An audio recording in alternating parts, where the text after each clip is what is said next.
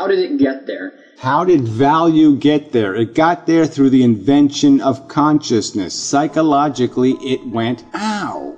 The whip was invented. That's when it started. And the carrot is merely taking the whip away. How did it get there without something to put it there? Evolution put it there. It's a motivational mechanism. Clearly, it works. It highly motivates. I could highly motivate you. yeah, very easily. Trust me. That's the part that confuses me. No, it's not confusing. We see it every day in the actions of every mammal on this planet. They're highly motivated by what they know will be the reward and punishment game. It's a madhouse. So, for example, if slavery is an inherent wrong, why has it been considered an acceptable practice for thousands of years? Considered by who an acceptable practice? The people who were immune from the harm of being a slave. Gee, that's just so stupid. That's really stupid. All you pro-lifers, you haven't died yet.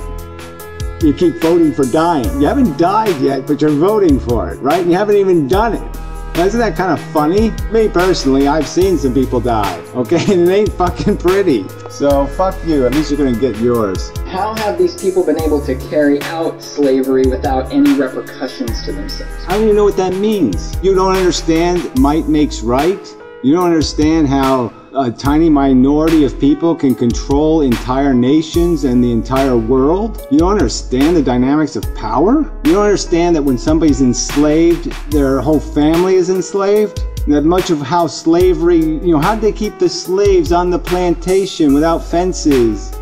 Because they had a gun to their fucking wives and kids' heads. That's how they did it. Fear.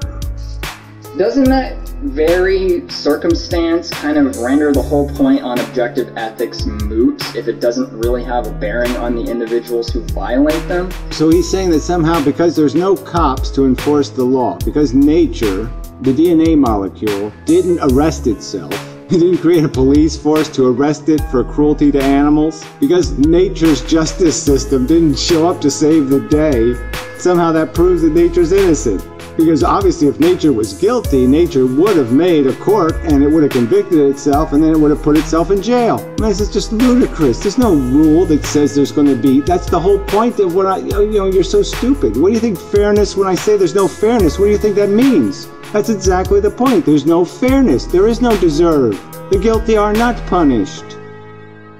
Your commentary is too stupid. You've been in my class too long to get it so wrong.